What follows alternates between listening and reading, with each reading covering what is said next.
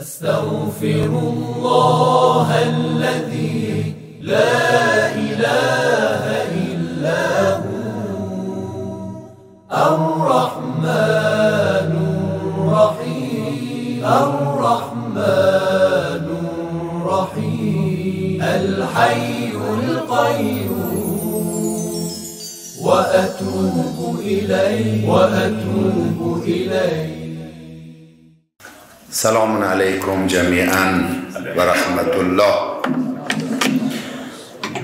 أعوذ بالله من الشيطان الرجيم بسم الله الرحمن الرحيم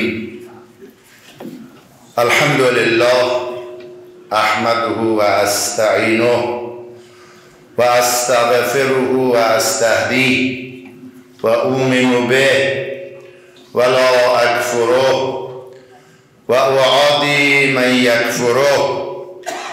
وأشهد أن لا إله إلا الله وحده لا شريك له. وأشهد أن محمدا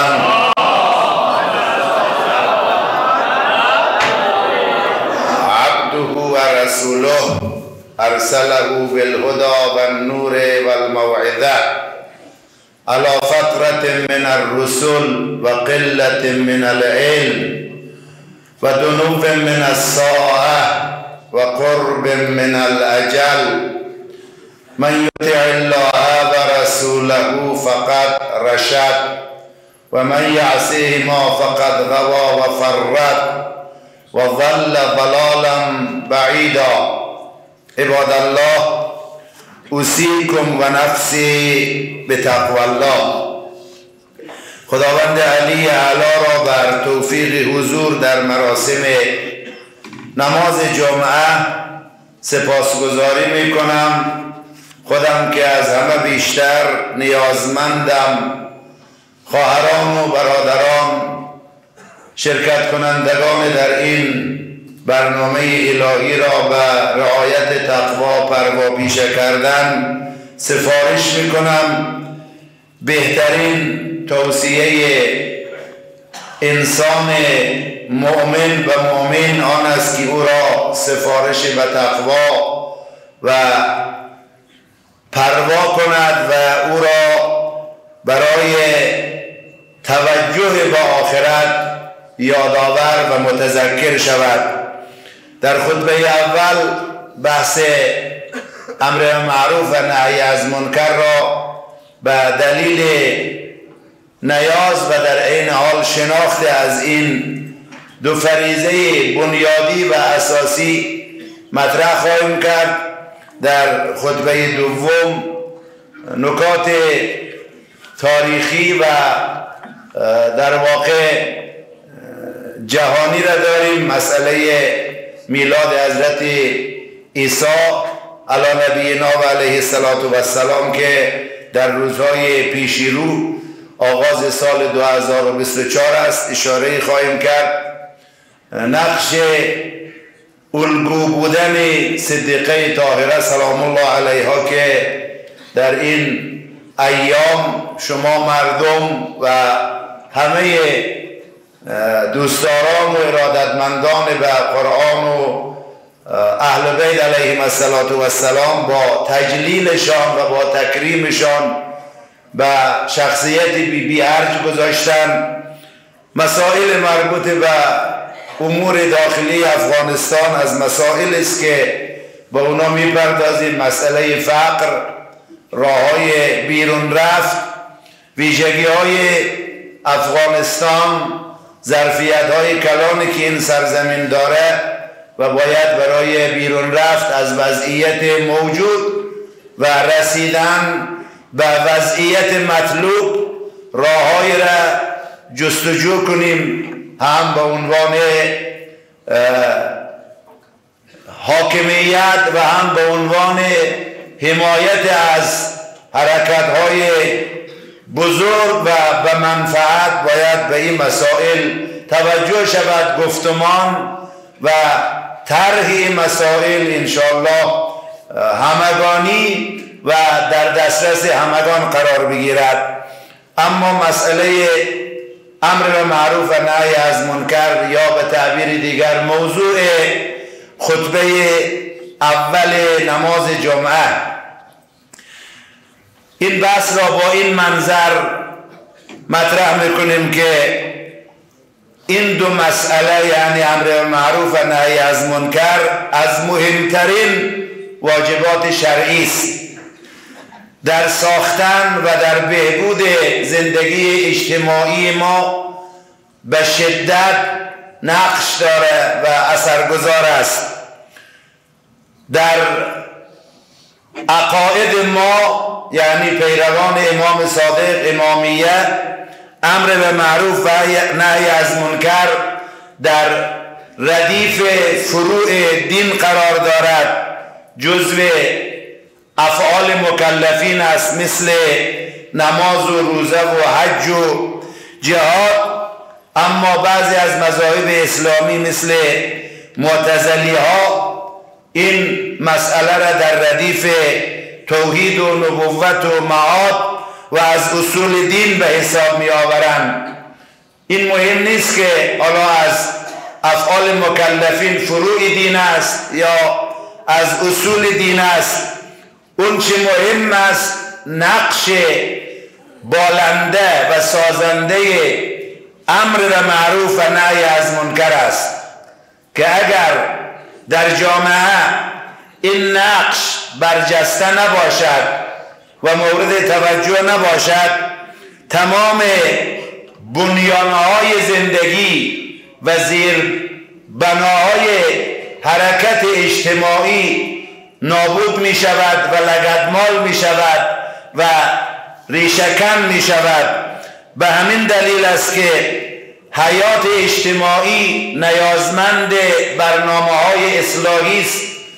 در رأس این برنامه های اصلاحی امر به معروف و نهی از منکر است. خب نیاز به تعریف نمی بینم همه شما نمازگزاران وقتی میگیم معروف می‌فهمین وقتی میگیم منکر یا نهی از منکر همه می‌فهمیم. امر به معروف یعنی فرمان دادن به هر کاری که حسن آن کار خوبی آن کار و زیبایی آن کار از نظر عقل و از نظر شرع تایید شده است. به عبارت دیگر حسنش شناخته شده است. این میشه معروف. هر چیزی که از منظر عقل و شرع شناخته شده نیست. یا به تعبیر دیگر زشتی و قبح آن را دین و خرد اثبات کرده و معرفی کرده این میشه منکر. به قدر امر به معروف و نهی از منکر. مهم است همین بزرگواری که در آغاز خطبه ها اکثرا عبارات را از مولایمان از پیشوای سفید رویان امیر بیان سردار سخن نقل می‌کنیم. ایشان در معرفی امر و معروف و نهی از منکر عبارت رسا و کامل بینظیر و بیبدیل دارند. میفرماید و ما اعمال البر کلها والجهاد فی سبیل الله عند الامر بالمعروف والنهی عن المنکر الا کنفست فی بحر لجی تمام کارهای خوب تمام کارهای زیبا بر حرکتهای زیبا حتی جهاد در راه خدا جهاد فی سبیل الله میفرمایند در مقابل امر معروف و نهی از منکر مثل آب دهان است در قبال دریای پهناور الا کنفست فی بحر لجی یعنی جامعه ای که امر معروف نداره استفاده نمی‌کنه توجه نداره. بها نمی‌دهد. این جامعه به عزت نمی‌رسه. این جامعه به اقتدار نمی‌رسه. این جامعه پویا نیست. این جامعه بیدار نیست. به همین دلیل است که در عبارت دیگر فرمودن قوام الشریعه الامر بالمعروف و النهی عن المنکر. قیام و قوام و بقا و استواری دین به امر معروف و نهی از منکر است. خب این کلیت بحث. امر معروف مراحل داره. شرایط داره. شناخت لازم است. نحوه استفاده از امر معروف و نهی از منکر به عنوان یک حرکت سازنده یک حرکتی که افراد جامعه آهاد جامعه را کنترل می‌کنه و این کنترل همگانی برای اصلاح است برای بیرون رفته از موانع رشد و از بجا زدن و زمینگیر شدن است. اینها را یکی یکی باید بشناسیم.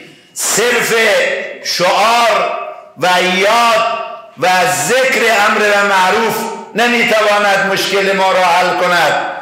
ما حرف از قرآن بزنیم به دستور قرآن عمل نکنیم مشکل ما حل نمیشه. بارها این مطلب را عرض کردم. این موضوع در روایات در منابع علمی و عملی ما رساله های مراجع ازام در کتبی که احکام و تکالیف انسان های مسلمان و مؤمن را بیان می‌کنه مطرح است. بعضی از مراحل امر معروف و نهی از منکر مربوط به حکومت ها میشه. اما بخشی از مراحل مربوط به خود ما میشه به آهاد جامعه میشه به اعضای خانواده ها به فرد فرد جامعه اسلامی این وظیفه محول شده. و قبال این وظیفه همه ما تکلیف و مسئولیت داریم. یک مرحله مرحله قلبی است در امر معروف و نهی از منکر که متاسفانه به این مرحله کمتر توجه میشه. تا ما میگیم امر معروف نهی از منکر برداشت اینه که یک محتسبی باید خلاصه پیدا شود و اون مردم را امر معروف نهی از منکر بکنه. خب یک مرحله است.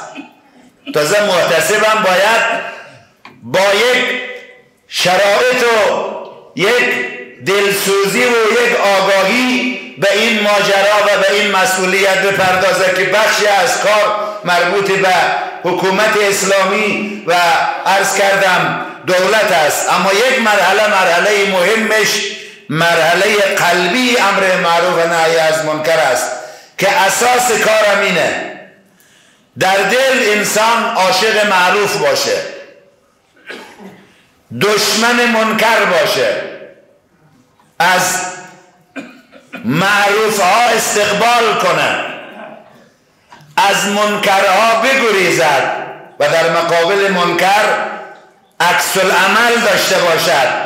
اگر در یک مجلسی حرکت منکرانه صورت می‌گیرد با چهره با تغییر روش با تغییر ارتباط خشممان نفرتمان و در واقع انزجارمان را از منکر نشان بدیم اگر معروفی در جامعه مطرح می شود با استقبال با حمایت با زمین فراهم کردن از معروف حمایت کنیم. به اندازه مهم است که ما وظیفه داریم و تکلیف داریم عشق بورزیم به معروف و احساس خشم و استراب و ناراحتی داشته باشیم. از منکر. امیر بیان فرمودن اگر شما معروف را منکر را دیدید ازاره احدکم المنکر. اگر منکر را دیدین ولم یستطع ان ینکره بیده. و لسانه شرایط برای شما آماده نیست. با زبانتان با دستتان در مقابل منکر عکس عمل نشان بدهید و او را جلوگیری کنید. و انکره به قلبه با قلب با حرکات نفسانی و درونی با چهره متغیر با اضطراب باید نفرت خودت را و انزجار خودت را از منکر نشان بدهی. فرمود این علامت صدق گفتار توست. پس مرحله اول مرحله قلبی است. متاسفانه خیلی جاها می‌بینیم در این وادی کار اساسی نشده. گاهی زمینه منکر که فراهم می شود انسان متوجه میشه خیلی از داعیه داران امر به معروف منتظر شرایط یک منکرن. در مقابل غیبت عکس عمل نیست. در مقابل تهمت عکس عمل نیست.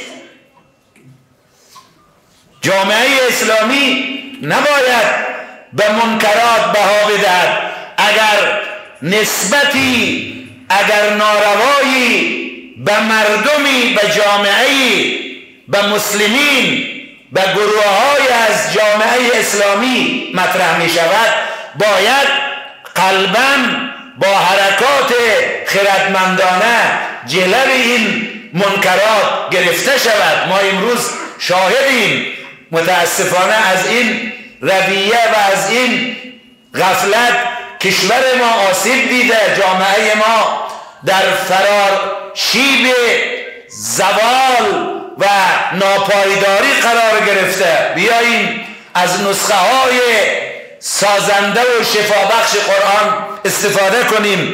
فرصت ایجاب نمی کند مرحله دوم مرحله زبان است. معدبانه دلسوزانه باید منکر را در بین مردم در جمع مردم معرفی کرد.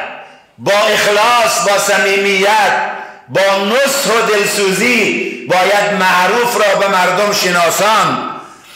امیر بیان فرمودن و انکر المنکر بیدک و لسانک منکر را با دست و زبانت معرفی کن و انکار کن و باین من فعله بجد کسی که منکر را انجام می‌دهد با سعی و تلاش و با انکار جلو منکر را بگیر. پس بخشی از امر معروف و نهی از منکر مربوط می شود به مردم مرحله قلب مرحله زبان. سخنرانی ها جلسات آموز آموزها آمو آموزش ها یاد دادن ها همه اینها یک مرحله از شناخت و یک مرحله از آشنا کردن مردم به معروف و منکر است. مرحله آخر مرحله سوم مرحله برخورد فیزیکی است. موزگیره های عملی است. اونجا است که وظیفه حکومت هاست. وظیفه دولت هاست. وظیفه کسانی هستند که از امکانات و از نیرو و از توان بیشتری برخوردار هستند پس ما با عنوان یک باور عمیق با عنوان یک ریاکار بیداری و هوشیاری و عزت و سلامت جامعه به امر معروف و نهی از منکر نگاه می‌کنیم. مسئله بعدی عمومیت امر معروف و نهی از منکر است. یک امر اجتماعی است. مثل مسئله امنیت است. ما باید فرد فردمان حافظ امنیتمان باشیم. مثل مسئله بهداشت است. باید فرد فرد جامعه ما اعضای خانواده ها اطفال و بزرگان و کهنسالان و خلاصه همه مراحل عمر و همه افراد جامعه به مسئله بهداشت و سلامت باید توجه داشته باشند. مسئله امر معروف و نهی از منکر اختصاص به یک بخش ندارد. قرآن میفرماید والمؤمنون والمؤمنات. مردان مؤمن و زنان مؤمنه بعضهم اولیاء و بعض. بعضی اینها سرپرست و ولی بعضی دیگرند یعمرون بالمعروف. این زمیر به همه برمیگرده. اینها باید امر به معروف کنند و ینهون عن المنکر. همه باید امر معروف و نهی از منکر کنند پیغمبر فرمود کلکم راع. و کلکم مسئول عن رعیته. همه شما وظیفه دارین. همه شما مسئولیت دارین. همه چوپانیم در قبال هم دیگر در قبال رعیت. نمیشه بگیم امر معروف نهی از منکر.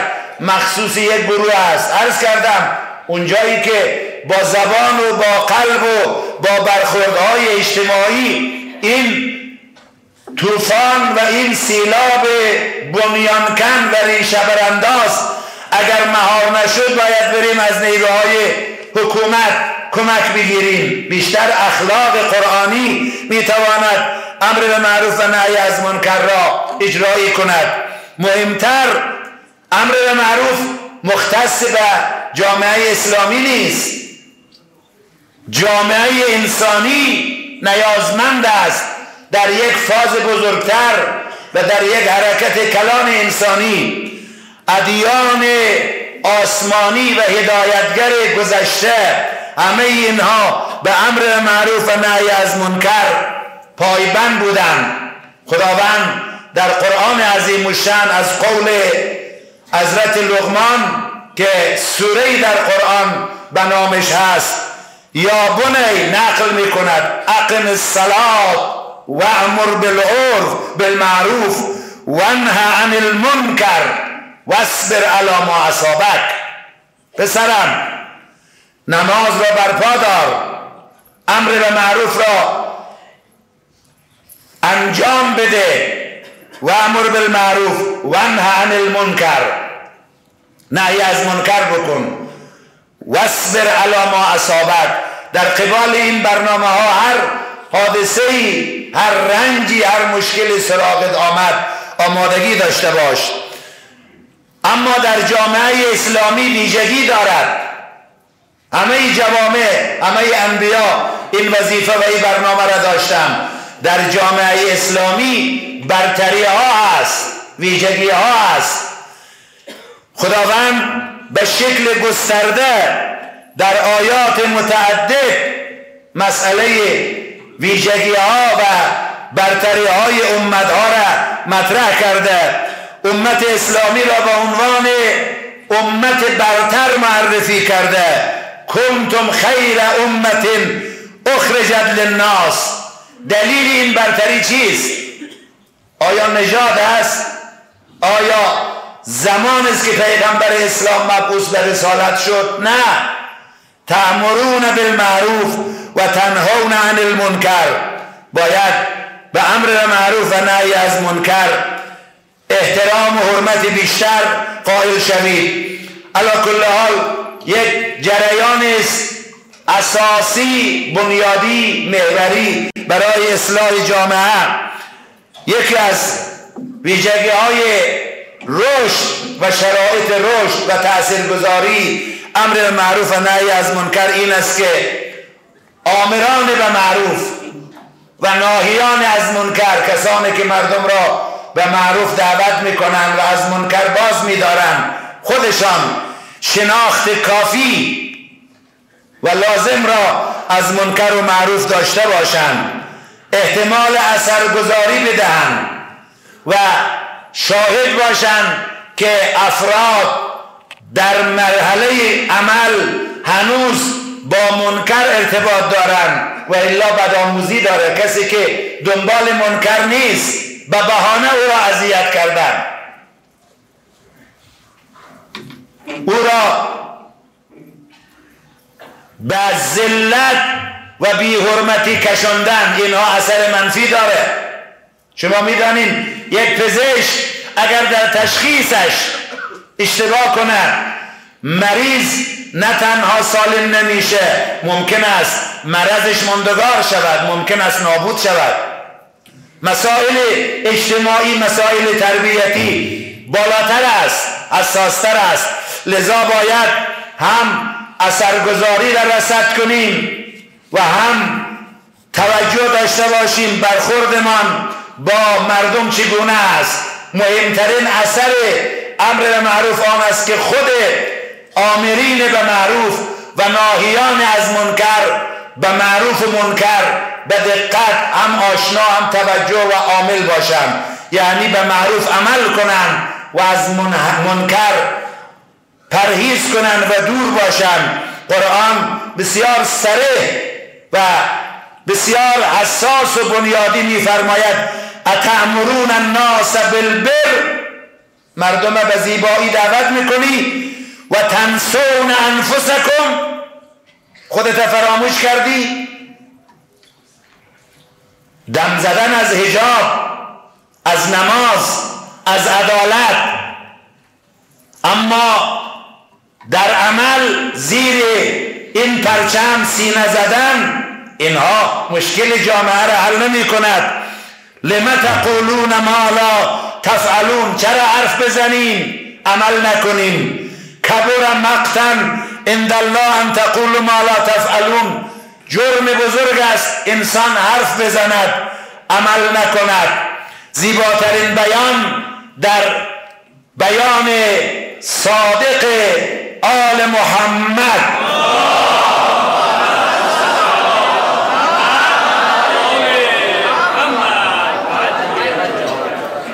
در باغ و بستان عقل و خرد دیده می شود که فرمود کونو دعات الناس به غیر السنتکم. مردم را به زبان نه بدون زبان به غیر السنتکم. با عملتان به معروف دعوت کنین و از منکر جلوگیری کنین. بس است.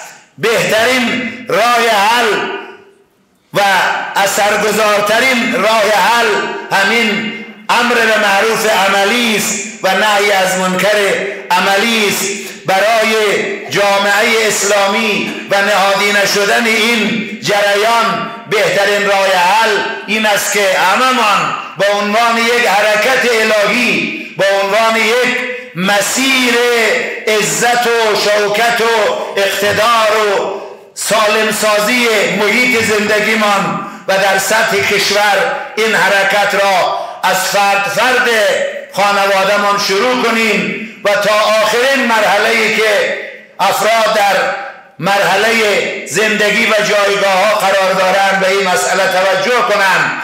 هرچه جایگاه انسان بالا می رود انتظارها از او بیشتر است. در رأس همه رهبران کشور هاست در رأس همه بزرگان و صاحبان قدرتن. وقتی مردم با اونها می‌بینن. اونها اهل عدالتن. اونها اهل معروفن. اونها از منکر فاصله دارن. مسیر حرکت جامعه سرعت پیدا می‌کنه. اصلاحات و پیشرفت ها بیشتر دیده می شود لذا فرمودن به تعبیر معروف بعضی ها حرکتشان به درازای حرکت سالیان افراد معمولی است. وقتی ما عدالت را معروف را از بزرگان و زعما ببینیم طبعا دلدادگی عشق و ارادتمان به معروف من به معروف بیشتر و از منکر هم فاصله بیشتر خواهیم گرفت. خدایا همه ما را با این دستور و با این دو دستور حیات بخشد. آشنا و آگاه و عامل بفرما. اعوذ بالله من الشیطان الرجیم. بسم الله الرحمن الرحیم. والعصر. ان الانسان لفی خسر. الا الذين آمنوا وعملوا الصالحات وتواصوا بالحق وتواصوا بالصبر.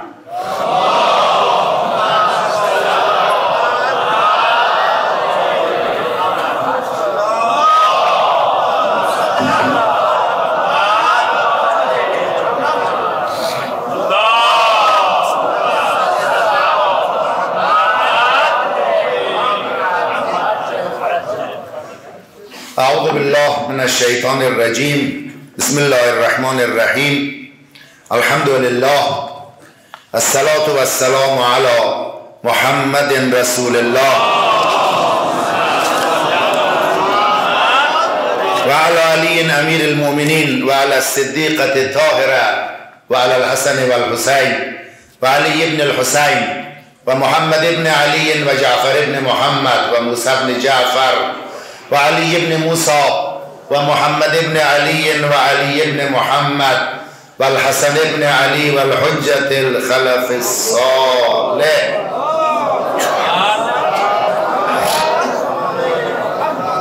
ائمت المؤمنین بار دیگر خودم و همه شرکت کنندگان خواهران و برادران را به رعایت تقوا پروا پیشه کردن سفارش می‌کنم. و دلیل اهمیت و عظمت و بزرگی نماز جمعه که حج فقرا معرفی شده موضوعات مورد نیاز جامعه باید در این فضای روشنگر و این صحنه بیداری و پایداری عزت و همدلی باید مطرح شود. نکته ای را هم در قالب تشکر از مردم و هم در قالب دلسوزی و تذکر یادآور می شوم. به حمدالله و المنه امسال تجلیل از فاطمیه یادمان عزت و بیداری و تکامل انسانی فوقلاده بود. در جای جای کشور مخصوصا در این شهر خداوند به شما مردم به شما برادران و خواهران عزت و سعادت دنیا و آخرت را بیش از پیش روزی و نصیب بگرداند. یک نکته ای را باید عرض کنم با استفاده از این فضا و از این نورانیت و از این دلدادگی و در واقع شناختی که الحمدلله با ظرفیت خودتان با آمادگی خودتان فراهم شده بیاییم. از بیبی بی نه تنها به عنوان یک آدرس عاطفی به عنوان یک الگوی زندگی استفاده کنیم. زهرا را در میدان عمل الگو قرار بدیم. واقع قضیه این است که نقش الگو در زندگی یک نقش شناخته شده است. لذا خداوند در قرآن مسئله الگو را مطرح کرده. در انبیای گذشته مسئله الگو مطرح بوده. در قبال الگو ما خلاصه آدرس های دیگری هم داریم که اون واجه ها و اون آدرس ها هم ما را به سمت یک الگو هدایت می‌کنه. امام اصوه نمونه حجت دلیل سرمش هادی همه اینها به خاطر این است که ما بیاییم الگو بگیریم. خداوند در قرآن الگوهای بد را معرفی کرده. الگوهای منفی را معرفی کرده. الگوهای مثبت معرفی کرده. همسر نوح الگوی منفی است. همسر لوط الگوی منفی است. ضرب الله مثلا للذین آمنوا امرأة فرعون. زن فرعون الگوی مثبت است. ما بیاییم از زهرای مرزیه سلام الله علیها با عنوان یک الگوی فراتر از زمان. نگاه کنیم. بیبی که در روایاتمان معرفی شده همه انبیا در مسیر شناخت او برنامه داشتند این بیبی و این بابو بانوی بزرگ در عرصه های مختلف می‌تواند الگوی ما باشد. در دعا در عبادت. اینا را عرض می‌کنم کم کم داریم به ولادت بیبی بی نزدیک میشیم. امروز هشتم جمادی و است. دوازده روز دیگه ولادت بیبی بی است. در نماز فقط نیاییم فاطمیه رسا و عزای بیبی را دنبال کنیم. بریم جنبه های عبادتش ببینیم چگونه است. این تسبیحات معروف که در روایات داریم هیچ چیزی به اندازه تسبیحات حضرت زهرا باعث عبادت نیست. با هیچ چیزی نمی‌تواند نمی شود خدا را این اونگونه ای که با تسبیحات بیبی بی عبادت کرد کرد. باعث عاقبت به خیری است. در بعضی از روایات داریم که ذکر کثیری که در قرآن گفته و قرآن فرموده خدا فرموده همین تسبیح بیبی است. بگذاریم چگونه تصویر پیغمبر به زهرا یاد داد و الا تسبیح چیزی جز الله اکبر الحمدلله سبحان الله نیست. زندگی زاهدانه بیبی بی آلایش بیبی که در روایات مطرح است در یک چهار دیواری محقر در یک خانه بسیار ساده اما پر از برنامه و صفا در یک خانه گیلی زندگی کرد و فرشی از پوست گوسفند به عنوان روانداز استفاده می کرد اما چی مدیریت کلانی را مدیریت کرد؟ در رفتار با پدر یک بخش مهم از زندگی ما امروز دختران است که در خانه قبل از ازدواج و قبل از مرحله ای که بروند همسر نصیبشان شود و یا خلاصه از خانه بیرون بروند. برخورد دخترها با پدر چگونه است؟ الگو باید از فاطمه گرفت.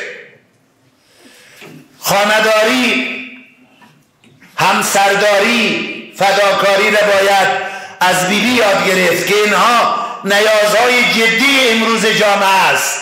شما این کلاس ها را غیر از در الگوی فاطمه به شکل مطمئن و خاطر جمع و بدون هیچ آسیب غیر از این آدرس در جای دیگه نمی‌توانیم پیدا بکنیم. رفتار با فرزندان الگو لازم داره. ما در امر تربیت نیازی به الگو داریم. امروز رسانه ها فضای مجازی که همه جا را تسخیر کرده نکنه مسیر الگوهای شما را عوض بکنه. بیاییم اینا را از زهرا یاد بگیریم. رفتار با مردم مبارزه با خرافات این همه آدرس هایی که مردم میکشانه با دم و دعا و با فتنه و با آلودگی ها اینها را در نظر بگیریم بالاتر مسئله جایگاه اقتصادی و نقش زن در اقتصاد خانواده. من مخالف درس تعلیم و آموزش زن نیستم. شما شنیدین. هر وقت لازم بوده موضع و در واقع نظر در عین حال خلاصه دلسوزانه را با آگاهی و با مطالعه بیان کردم. اما اینه که بعضی فکر می‌کنن نقش زن در خانه در اقتصاد جامعه کمتر است از نقش کار و درآمد زن در بیرون. این یک حرکت خلاصه سالم نیست.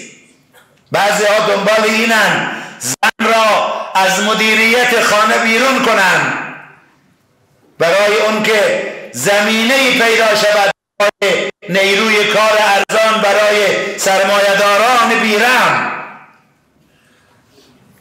نقش دلسوزانه مادر در اقتصاد خانواده بالاترین نقش است. اگر نباشد این دلسوزی تأمین سلامت خانواده کار بسیار سختی است.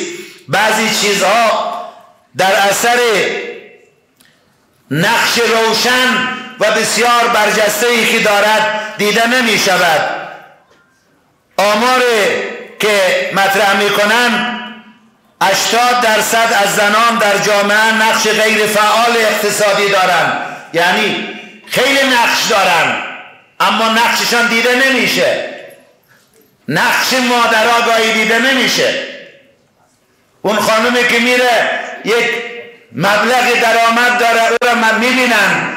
اما مادری دلسوزی مدیریت که در خانه در مصرف دقیق و با ابتکار که یک مادر انجام میده این نقش چون نقش غیر فعال است خیلی ها نمی‌بینن. این باید بیاییم از زهرا یاد بگیریم. علا کل حال نقش ها و نمونه های از برجستگی های بیبی امروز لازمه زندگی اجتماعی و خانوادگی ما است و اونها باید توجه کنیم.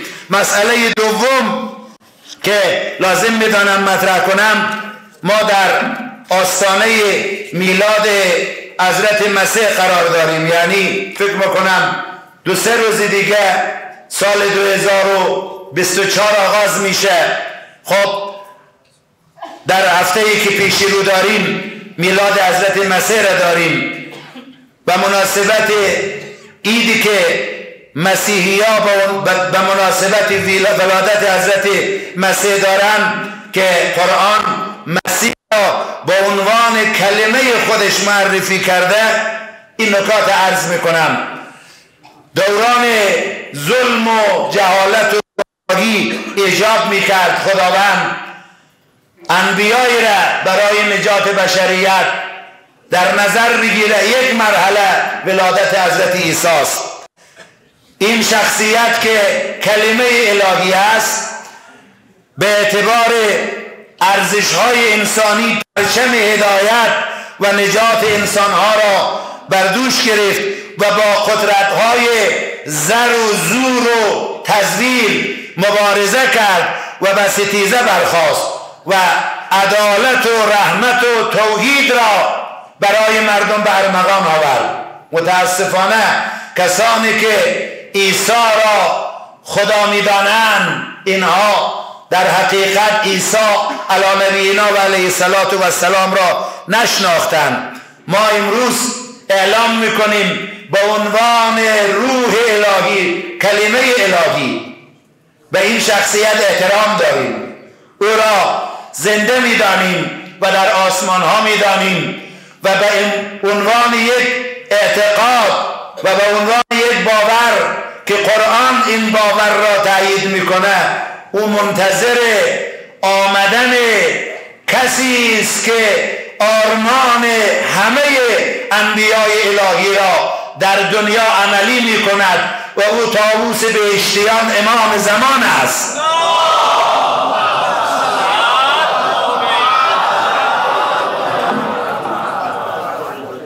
ما هم این پیامبر الهی را قبول داریم و هم میلادش را تکریم می‌کنیم و آرمانش را به عنوان آرمان انسانی و عدالت خواهی محترم میشماریم و در شناخت این شخصیت هم اسناد بالاتر و دست اول داریم و هم آشنایی بیشتر. لذا فرصت نیست من فقط در باب از باب این که نماز جامعه این جایگاه بیداری و این در حرکت بزرگ اسلامی ایجاب می‌کنه ما در همه عرصه ها خلاصه نکات مهم را دنبال کنیم عرض کردم. مسئله دیگری که داریم در آستانه ششم جدی هستیم امروز اول جدی است. حرکت را که متاسفانه با جهالت و با کوری و با ندیدن آینده ها روزها انجام دادن شوروی سابق انجام داد. در زمان برژنف رهبر اون زمان شوروی سپاهی را خلاصه به افغانستان لشکری را فرستاد که نزدیک نو سال و یک ماه اینجا اونا حضور داشتن. حالا آمار خلاصه کشته هاشان مختلف نقل شده. از شش لگو بیست هزار تا یک میلیون خلاصه کشته دادن. اینها با ذلت و خاری از افغانستان بیرون رفتن.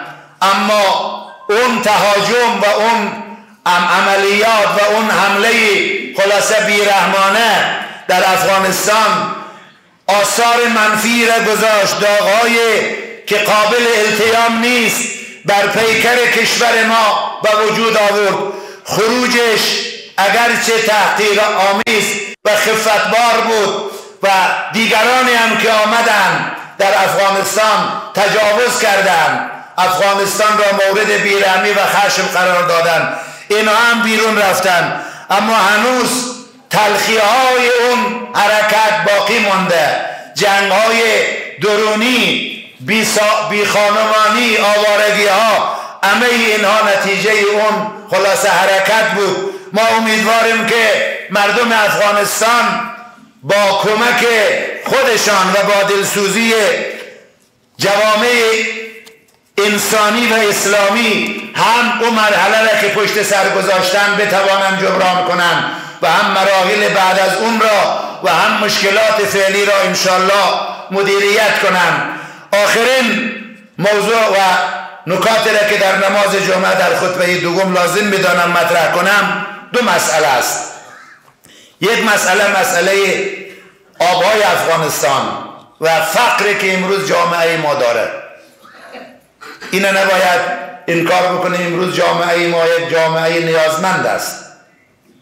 چشمش به بیرونه در حالی که کشور ما هم کشور زیباست هم سخاوتمند است. منابع حیاتی فراوان دارد. در سطح کشور کشور ما در سطح منطقه یعنی در کنار همسایه ها از جغرافیای بسیار ویژه و برتر برخوردار است. چرا با وجود این جغرافیا با وجود این ویژگی ها با وجود این همه منابع کشور ما فقیر باشد؟ این باید توجه کنیم. دلیلش چیست؟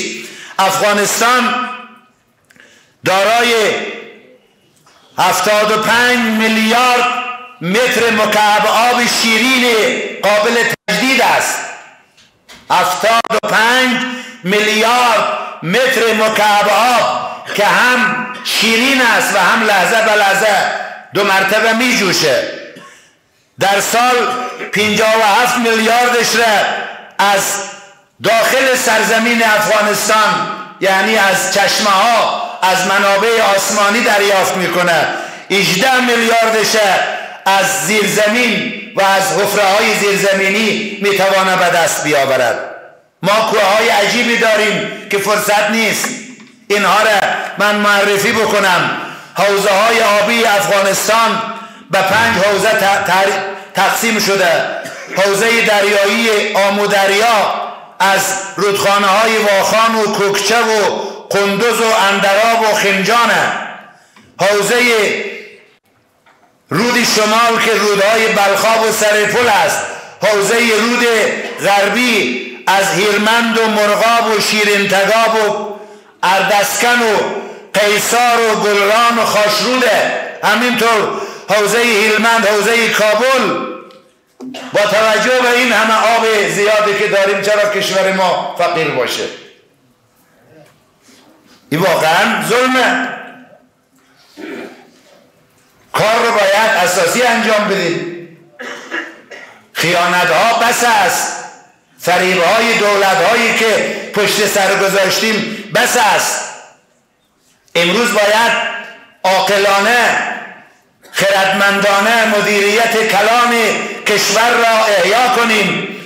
با همه این ظرفیت هایی که داریم متاسفانه هم خود مسئولین به این قضایا به اون شکل عمیق هنوز توجه نکردن که انشالله توجه ها شروع شده و جدیتر باید بشود و هم همسایه ها باید این مسئله را جدی بگیرن کار ندارم. همسایه های ما باید متوجه باشن. خلاصه منابع در مرحله اول مال خود ماست. بله دنیا دنیای داد و ستد است. بعد از اونی که بیش از حد نیاز ما بود ما چیزایی نداریم که همسایه ها دارن. در قالب داد و ستد اشکال نداره. خلاصه از این منابع استفاده شود در قبالش در بدلش. خلاصه چیزی نصیبی جامعه ما شود. هفته گذشته عبداللطیف منصور وزیر آب و انرژی امارت اسلامی اعلام کرد. رود روند بررسی بررسی فنی و مدیریت آب حوزه رودخانه کنر که یکی از رودخانه های افغانستان است تکمیل شده و در آینده قرار است ساخت آن با یک شرکت ترکی امضا شود. تا این قضیه را در اخبار گزارش کردن کشور همسایه ما وزیر اطلاع رسانی الایت بلوچستان پاکستان آقای اشکزی در قبال این خبر خیلی توپید. خیلی خلاصه خلاف انتظار حرف زد. گفت تصمیم حکومت افغانستان برای ایجاد صد بر روی رودخانه کنر گفت یک حرکت خسمانه است. یک حرکت علیه پاکستان است. این یک حرکت منفی به امارت اسلامی دانست. آقا چه خبره؟ آدم روی خلاصه آب که سرمایه ملیش از صد بزنه مردم از این آب استفاده بکنه. این دشمنی با همسایه است. چرا این گونه برداشت میشه؟ این انتظار را نباید همیشه داشته باشند که سرمایه های کشور در اختیار دیگرها بی جهت قرار بگیره. جوسازی ایجاد خلاصه فضای مسموم خلاف انتظار از کشورهای همسایه و اسلامی است. مسئله آبها انشاءالله با دلسوزی مدیریت شود و مشکل آب اگر حل شود من معتقدم بیش از پنجاه درصد مشکل درآمد و اقتصاد کشور حل می شود. مسئله دوم جغرافیای افغانستان است. یعنی ما در کجای دنیا قرار داریم؟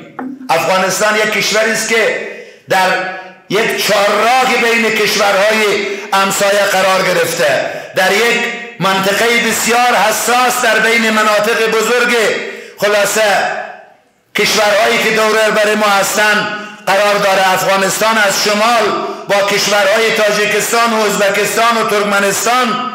خلاصه مرز داره در غرب جمهوری اسلامی ایران در جنوب و شرق پاکستان قرار داره در قسمت شمال شرقی چین قرار داره. ما حدودا 5514 کیلومتر مرز مشترک با همسایه ها داریم. خیلی از کارها اگر قرار است انجام بشه باید از داخل افغانستان عبور بکنن. این موقعیت طلایی را باید استفاده کنن. این ظرفیت بالایی که افغانستان داره این باید مسئولین حالا من فرصت نیست یکی یکی بشمارم اینو در نظر بگیرم. مخصوصا این قضیه خلاصه گازی که قرار است از ترکمنستان به سمت پاکستان و هندوستان کشانده شود و برنامه ریزیش قبلا صورت گرفته. این یک موقعیت بسیار اساس است. پروژه لوله تاپی که خلاصه کشورها در اینجا دخیلن افغانستان اینجا موقعیت بسیار ویژه داره. ما امیدواریم دیگه خلاصه اینها به مرحله عمل برسه. مردم ما از محرومیت از مظلومیت از فقر نجات پیدا بکنه. رای حلش هم دلسوزی حاکمان است. صداقت حاکمان است. سرمایه گذاری با شناخت و با آینده نگریست هم باید نسل امروز ما از فقر بیرون بروند و هم برای زندگی نسل های آینده برنامه داشته باشیم. مهاجرت های جانکاه و غیر قابل تحمل باید مسدود شود. امید انگیزه برای آبادی و برای پیشرفت و ترقی مملکت باید شناسایی و اجرایی شود. خدایا حکومت افغانستان ملت افغانستان را در این امر مهم یاری بفرما. ما را با نگاه و با دل دادن به دستورات قرآن در عرصه اجتماع و در عرصه جهان سربلند بگردان. توتعه ها و دشمنی ها و کینه ها را تبدیل به اخوت و همدلی و تلاش و سعی و آبادانی بگردان. اعوذ بالله من الشیطان الرجیم. بسم الله الرحمن الرحیم. اذا جاء نصر الله والفتح ورأيت الناس يدخلون في دين الله افواجا فسبح به حمد ربک و استغفر انه کان توابا.